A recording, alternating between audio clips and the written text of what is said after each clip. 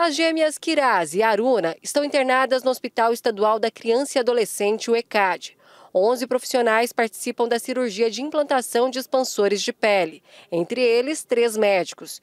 Rogério Ramu, filho do cirurgião pediátrico Zacarias Calil, é o cirurgião plástico do procedimento. A gente introduz expansores que são, funcionam como um balão vazio e através desse balão vazio que a gente coloca embaixo da pele, nós depois vamos colocando soro fisiológico, esse balão vai expandindo e nós vamos criando pele para depois um fechamento na, da separação delas.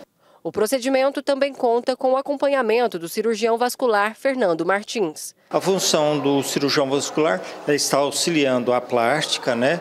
É, trocando informações e impressões. Se houver alguma ruptura de um vaso, a gente está ali para poder ajudar nesse procedimento. As gêmeas têm um ano de idade, são do interior do estado de São Paulo e são acompanhadas desde o nascimento pela equipe do ECAD. O custo de um tratamento assim chega a um milhão de reais, tudo pago pelo SUS.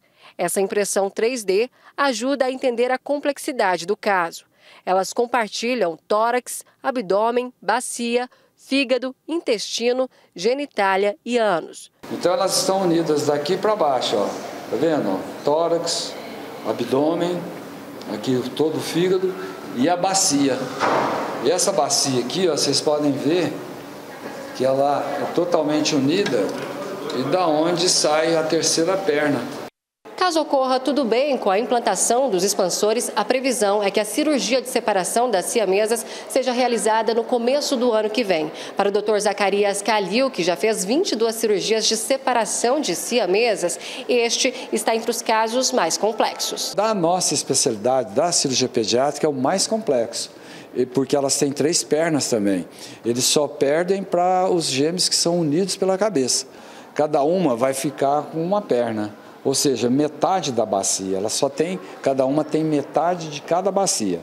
E a terceira perna é outra bacia.